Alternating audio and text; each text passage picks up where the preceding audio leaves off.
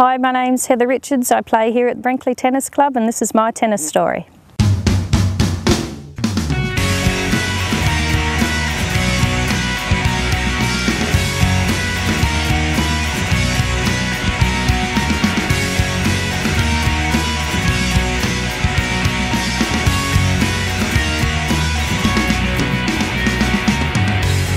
First started playing tennis, I think I was about 10 at Callington. Uh, my family played tennis there, so my two older brothers were already playing and mum and dad.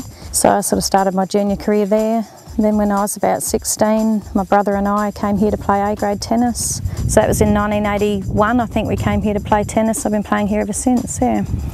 I started coaching just after I'd moved here when we'd got married. Um, I think I was about 24 or 25 and there was no junior teams here at all. It was just the seniors uh, holding it all together, but I knew that there was uh, children around about the right age to see if they wanted to play. So I rang a lot of parents and asked if their children would be interested in learning how to play, and a lot of them did. I think we had two teams came out. Uh, those kids are now married and have kids of their own, but uh, I've been coaching here I think for about 18 years. My favourite tennis memory is probably going to make me cry, um, but this year or just this past season that's just gone by, um, my husband, two kids and I played in a team together in the Saturday afternoon comp. And um, uh, it was a really big emotional time I suppose like the whole thing. I was just so proud that I was able to do it because we all love tennis and just wanted to do it while we could while we were fit enough. Um, and also back in the 70s I'd done that exact thing with my family. So my mum and dad and two brothers we played in a team together as well. And uh, you know I, I, didn't really think about it a lot um, until it's now happened to me. And I know now you know how proud my mum must have been when it happened for her.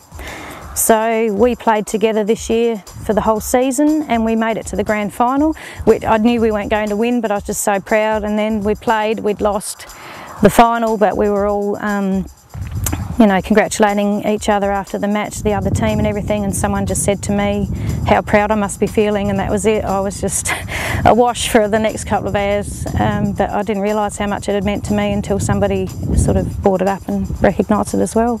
Then we had the dinner that night, which I continued crying right through the night, how proud I was, and when I got up to make speeches and things, so I think that just showed my kids how much it meant to me too. We got down there and there were seven people nominated, so I wasn't really thinking I had much of a chance. And uh, yeah then they announced it. Had a table of uh, there was eight of us went from our association and the table next door of eight that came from the Murray Bridge lawn tennis.